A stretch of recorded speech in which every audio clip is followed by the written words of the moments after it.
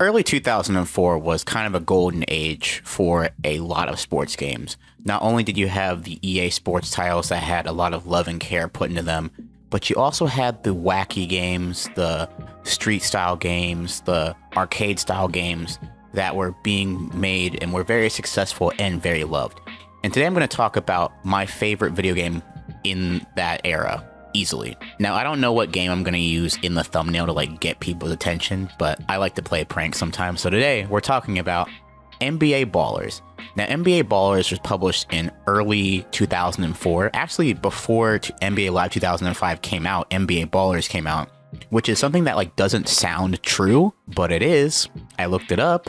Now, NBA Ballers had some of my favorite elements from any street style game added to an NBA game.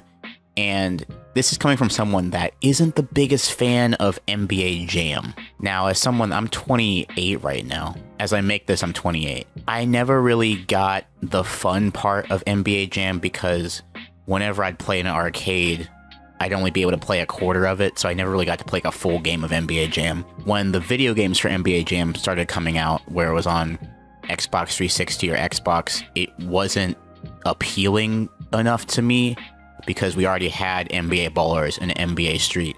So I appreciate that NBA Ballers has some NBA Street style elements. NBA Ballers kind of has its own flavor to it that makes it stand out from the other games. One thing that really stands out in NBA Ballers is character. This game is oozing with character, with flair, with swagger, with pizzazz, with any other adjective you want to name it. NBA Baller starts off with a great intro song that kind of gets you accustomed to what you're gonna see.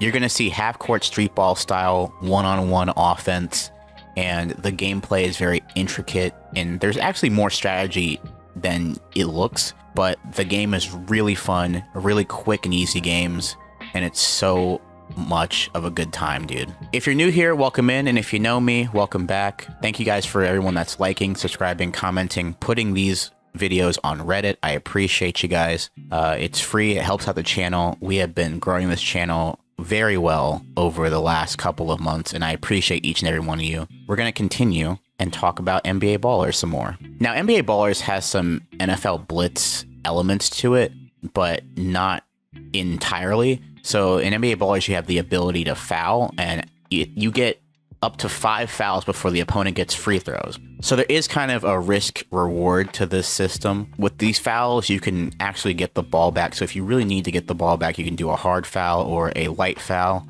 to see if the opponent drops the ball. And here's the thing in NBA Ballers, every possession counts. Every single possession counts. Sometimes, depending on the round, you're only playing to 11 by twos and threes. So, is there that much room for error? Not really. And it also depends on the game mode that you're playing. And that's the other thing I'm going to get to. There are so many ways to tweak the game rules and make changes because that adds so much more variety to this game. And the gameplay loop doesn't really get old. You have, of course, 1v1. It's like one on one hoops, obviously. But then you have 1v1v1. So it's like you're going one on two. So not only do you have to worry about whoever's guarding you, you have to worry about the person patrolling the paint, which is nice. The Act-A-Fool moves or like the skill moves or like the And1 style tricks are good for two things. One, building up your house meter, and two, being able to get around the court. You can use these moves and chain them into different combinations to get you to the spots that you really want to on the court. And that's why I feel like this game has a lot of fighting game inspiration because it's more than just the actual score. You could actually also try to do the bring down the house meter. Now, the bring down the house meter was a meter, is a yellow meter that you could fill up during the course of the match. And when it was all filled up, you could do a self lob off the glass that broke the backboard. Now, if you broke the backboard and broke the glass, you won the game. Didn't win just like the round, it's best two out of three usually. You won the game. But I think where the game stands out to me is the multiple modes in terms of like story mode, in terms of the TV tournament. The story mode is called Rags to Riches, where you start off as like a ball player that really isn't that good and then through beating different opponents, you're able to acquire new skills, acquire new gear, and acquire new elements to the game that actually takes your gameplay to the next level, which I haven't talked about yet. So, for example, if you're playing on a couple of levels and you get enough points, you can buy a hotspot. And the hotspot means that you can pick any spot on the court and you'll have a higher chance of making the shot. Now, that hotspot can be activated over time if you remember the spot, so you have to be sure to put it in a location where you can remember it. There are also other features that certain players in the game have that others don't. An example of this is you're able to pass the ball to a friend that's not on the court. Now, with this pass the ball to the friend, if you lose your dribble, you're able to pass it and get the ball back. And you can only, the, the friend can only hold it for a certain amount of time and then they have to like just toss the ball back in the court. With the pass to friend element, your friend could like throw you an alley oop, your friend could give the ball back to you, etc., etc. I think the coolest one is that certain players are allowed to legally goaltend in this game. Let's say uh, Ben Wallace, you're playing NBA Ballers as Ben Wallace, and he's allowed to legally goaltend. Whereas uh, Steve Nash, even if Steve Nash was able to get up that high, which he can in this game, uh, goaltending is still something that he can't do legally, but Ben Wallace could. Some NBA players in the game have the ability to pass to a friend, but again, these are all abilities that you're able to buy with the Rags to Riches game mode. So by the end of the story, you're able to have a really fleshed out, unstoppable NBA ballers player. And there are so many cool customization options in this game, so there's always something to strive for, whether it's a new hairstyle or new clothes or a new chain or buying something for your house or yeah, upgrading something for yeah, buying something for your house or buying a friend to pass the ball to. There's so much that you can do. Now, the other way to earn credits and earn money to buy things is the TV tournaments. And the TV tournament is a gauntlet, so you're able to play NBA players, and sometimes they have a, like a really cool theme to it, where it's like you're playing the rookies or you're playing Eastern Conference greats and stuff like that. And I will tell you, some of these levels are really difficult. To this day, some of these levels are actually really challenging because they keep changing the rules. So there's a rule that you can have, a modification that you can have where five fouls actually ends the game. You can't foul more than five times. And that's the thing with NBA ballers is that even though at its core it's just street basketball, the level tweaks make you change your strategy and always offers a new challenge, especially depending on which basketball player that you pick. And I think that that's something that really stands out from other video games in that uh, arena. I remember there were certain games that like really annoyed the crap out of me. I'm telling you. There was one mode where you have to win by bringing down the house, which means that the the round is untimed, but you have to pull off so many different combos and play basically perfect NBA ballers basketball to be able to bring down the house and end the game. That's tough in and of itself, especially depending on your computer because the computer difficulty never really never really seemed to be the same. It always felt that there were some weird difficulty spikes, which were cool because I don't want the same easy difficulty um, from tournament to tournament.